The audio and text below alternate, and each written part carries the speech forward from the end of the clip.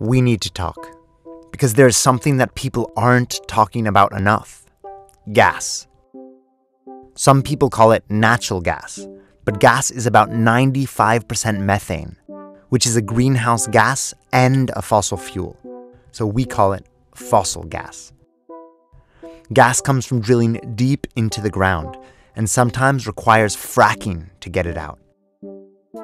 As gas is extracted, infrastructure is required to move it around the world, which is connected to environmental destruction, political corruption, land grabs, state violence, and water pollution, as exporters need to send fossil gas around the world. And this is what we need to talk about. Because methane is a slippery gas, and all across these infrastructures, it is leaking into our atmosphere. People talk about gas as clean because when it is burned, it produces only half the CO2 emissions as coal. But when methane isn't burned and escapes into our atmosphere, it is a greenhouse gas over 100 times more dangerous than CO2. Now listen carefully, because this has to do with all of our common interest. The European Union is currently planning on using public money to subsidize and prioritize more than 93 new gas infrastructure projects that they are calling projects of common interest. This would lock us into another generation of fossil fuels at precisely the moment when we should be breaking our addiction to them. Europe imports almost half of global fossil gas imports, so any decision here has effects around the entire world and on all of our atmosphere.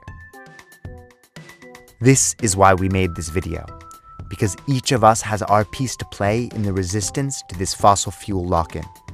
This isn't just a question of energy, it's a question of justice.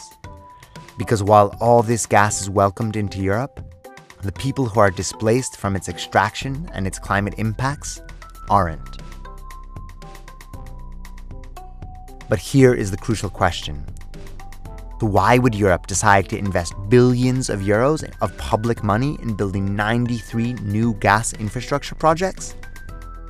Well, the answer might just have less to do with energy infrastructures than with global financial markets. It's about keeping the economic bubble based on cheap fossil fuels growing. And people are losing faith that coal and oil are good long term investments. So the fossil fuel industry is spending billions on advertising and lobbying to sell the idea that gas is a clean, green transition fuel to keep the economic bubble and their share prices growing. But bubbles burst sooner or later. And an economy built upon the idea that all known fossil fuels will be burnt is incompatible with life as we know it.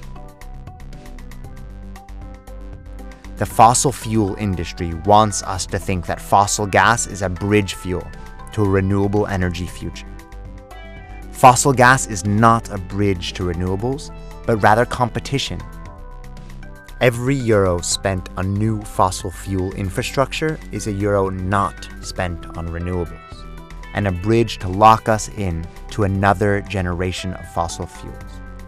But all across the world, communities are rising up to stop this dangerous lock from closing and playing their crucial part in a global resistance. Not only to gas or to fossil fuels, but to the entire unsustainable extractivist worldview it is based upon.